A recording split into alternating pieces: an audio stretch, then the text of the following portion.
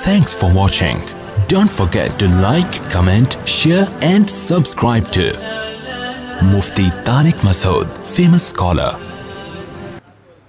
तो अब सोचो कि नू सलाम के ज़माने में जब उम्रें हज़ार हज़ार साल की हुआ करती थी तो डेढ़ दो सौ साल बालिग होने में लगते होंगे है भाई फिर कहीं निकाह का पैगाम भेजा तो लड़की वाले कहते होंगे हम इन उन्नीस में आपको उस ज़माने का जो भी उन्नीस सौ अट्ठासी होगा, ज़रा ठहर जाएँ, हम आपको डेढ़ सौ, दो सौ साल बस मशवरा कर रहे हैं हम अभी इनशाला डेढ़ सौ, दो सौ साल से ज़्यादा टाइम नहीं लगेगा।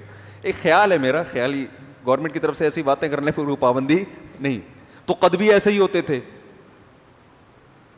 कद ऐसे होते थे, हदीस में आता है, बुखारी की हदीस है कि आदम सलाम का जो कद है वो साठ गज था। यानी हाथ को साठ से मल्टीप्लाई कर लें, सिक्सटी से। एक गज तकरीबन इतना होता है।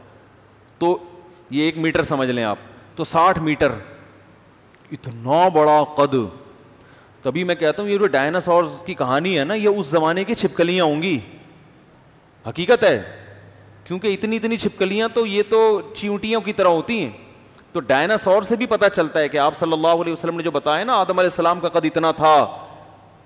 तो उस ज़माने के इंसानों के ढांचे तो हमें नहीं मिले। अच्छा मैं गिलगित गया हूँ, वहाँ इंसानों के ढांचे भी मिले, बहुत पुराने। तो उन्होंने मुझे बताया कि यहाँ आसार कदीमा की कब्रें, हमने इतने लंबे लंबे लोगों की ढांचे मिले हैं ना, हड्डियाँ, कि अकल हैरान होती है। पहले मुझे यकीन नहीं आता था, लेकिन वहाँ के मकामी ने बताया।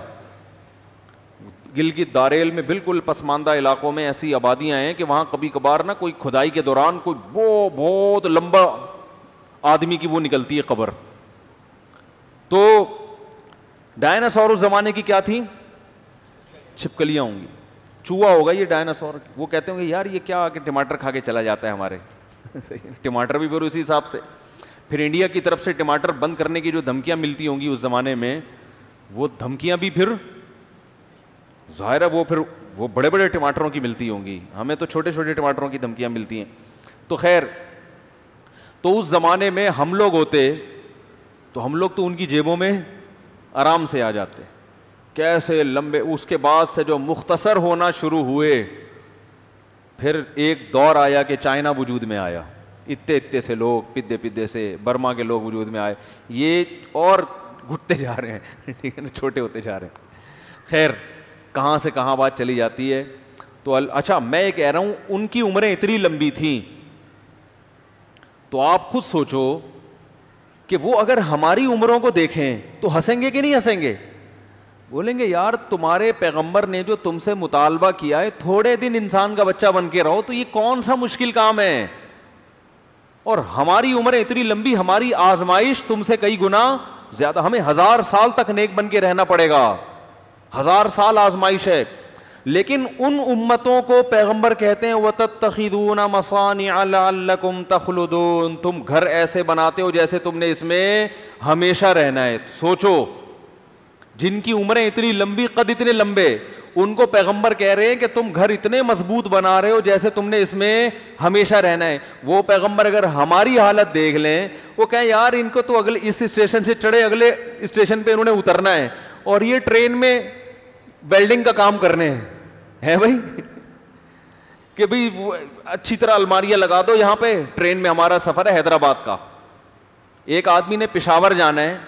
वो कह रहा है कि यार मैं यहाँ बर्थ को, को जो है ना वो ख़रीद के रखूँ और यहाँ मैं जो है वो बिल्कुल पुरताही ज़िंदगी गुजारूँ और तो ये मेरे लिए हैरत की बात है इसलिए कि मैं तो पिशावर पे उतर जाना है। तो उसको कोई ऐसा बंदा मिले जो हैदराबाद पे उतरना उसने दो घंटे बाद। और वो क्या कर रहा है कि वहाँ वेल्डिंग का काम कर रहा है। तो उससे कहा जाएगा ना, भाई क्या कर रहा है? कह रहे हैं, यार, हैदराबाद का तक का सफ़र में चाह रहा हूँ, आराम से गुजर जाए कहेंगे, ये दो घंटे में कितना टाइम लगता है? खड़े खड़े इसमें तो बैठने की सीट ना मिले तो भी इंसान चला जाता है। तो पिछली उम्मतों के लोग अगर हमें देख लें और वो कहें, हमें पैगंबर कह रहे थे कि मज़बूत मकान मत बनाओ, तुमने रहना, थोड़े दिन है। तो हमें देखें अबे, तुम्हारी औकात क्या है? पचास पचास, साठ साल और पचास साल में भी आप बीस साल तो निकाल दें बचपने के, पंद्रह, बीस साल। उसमें तो होश ही नहीं होता कि पैदा क्यों हुआ मैं? पंद्रह, बीस साल। पंद्रह, बीस साल के बाद थोड़ी खोपड़ी काम करना शुरू करती है कि है क्या मैं पैदा क्यों हुआ? कैसे आना हुआ इस दुनिया में? क्यों आया? तो ये उसके बाद लाइफ है। और उसमें भी जवानी के, मेरे ख्याल है, बहुत ज़्यादा हो गए। साठ साल लगा लो, बड़ी अच्छी सेहत हो। तो चालीस साल की ज़िंदगी है ये। साठ साल के बाद बोनस पे। साठ साल के बाद रिटायर क्यों करती है गवर्नमेंट? इसलिए कि भाई अब हमारे काम का नहीं, अब इस पर इन्वेस्ट ज़्यादा होगा, आउटपुट कम निकलेगा दवाओं के पैसे ज़्यादा खाएगा ये और कंपनी में काम इतना नहीं करके देगा ये। यही होता है ना, साठ साल में कहते हैं, पतली गली से निकलो, रिटायरमेंट। कि भाई अब ये बोनस पे चल रहा है कोई किसी भी वक्त कुछ भी हो सकता है, हमारे गले पड़ जाएगा, निकल भाई यहाँ से पेंशन वेंशन दे देंगे वहीं बैठ के खा लिया करो। तो काम नहीं करके देगा अब ये।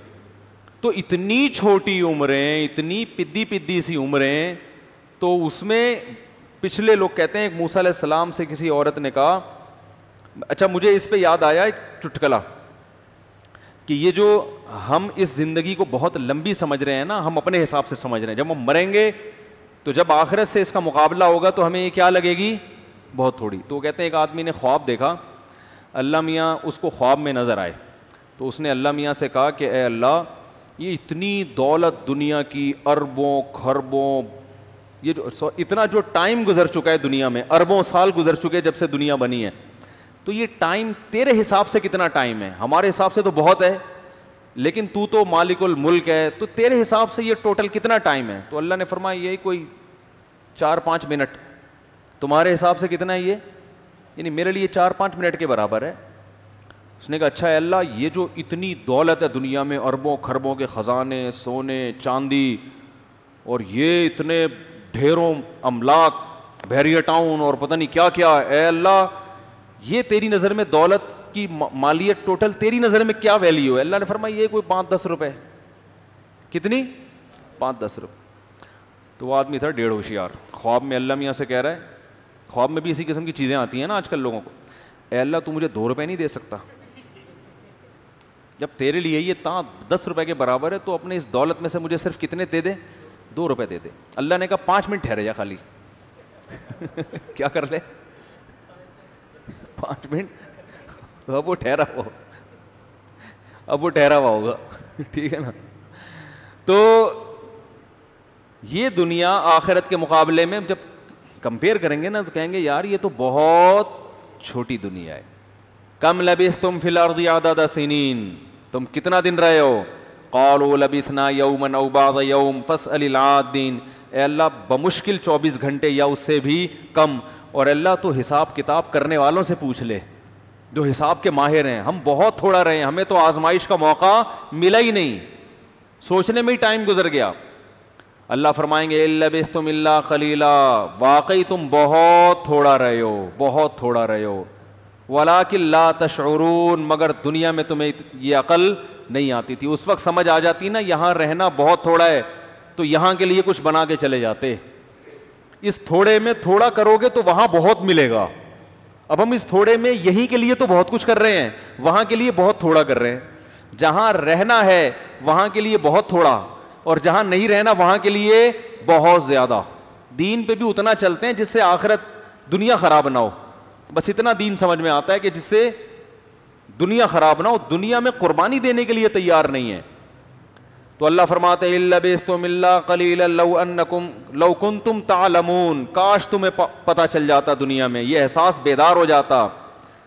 अफ़ा हसीब तुम अन्नमा खलकना को माबासा फिर अल्लाह फरमाएँगे, क्या इतने थोड़े से वक्त के लिए जब हमने तुम्हें पैदा किया, तुमने ये गुमान कर लिया था कि हमने तुम्हें बेकार पैदा किया है? फ़ख्र करने के लिए मैं इतने ग्रेट का ऑफिसर ये भेरिया टाउन ये ये ट्रेन ये ये गाड़ी और ये जहाज़ और ये बस, ये ये ये ये खेल तमाशों के लिए पैदा किया है। व अन्नकुम इलैना ला तुरजाऊन, और तुमने ये फ़र्ज़ कर लिया था कि तुमने हमारी तरफ़ लौट कर नहीं आना फ़ताल हक, क्या अंदाज है कुरान का? अल्लाह फरमाते हैं, वो बादशाह जो बरहक है, वो इस ऐब से पाक है कि अशरफुल मखलूक को पैदा करे और खेल तमाशों के लिए। क्रिकेट के मैचेस के लिए इंटरटेनमेंट के लिए। अल्लाह फरमाते हैं, रब ऐसी गलती नहीं कर सकता। आजमाइश के लिए था। देखो, तीन घंटे का इम्तिहान होता है एग्जामिनेशन हॉल में। रिज़ल्ट का असर 20-30 साल के फ्यूचर पे पड़ता है कि नहीं पड़ता? एग्जामिनेशन हॉल में तीन घंटे, दो घंटे, ढाई घंटे, ये टाइम होता है ना? अब आप वहाँ बैठ के पेपर हल करने में टाइम नहीं लगा रहे। वहाँ बैठ के कोल्ड ड्रिंक पी रहे हो, गुटखा मंगवा रहे हो, पान खा रहे हो और हँसी मज़ाक कर रहे हो, लतीफे सुना रहे हो, बातें कर रहे हो इधर उधर की फेंक रहे हो। अगला एग्जामिनर आके कह रहा है, भाई, ये पेपर हल कर लो। और पेपर भी ऐसा हो जो आपको हल करना आता भी हो। या तो कि आता नहीं है तो अब क्या करें? बैठ के इधर उधर की बातें ही करनी है। ये यूँ झाँक झाँक के देखना है। आता भी है पेपर अब तो करो ना, आप कह रहे हो, नहीं यार, ये तीन घंटे में टेंशन में नहीं गुजार सकता।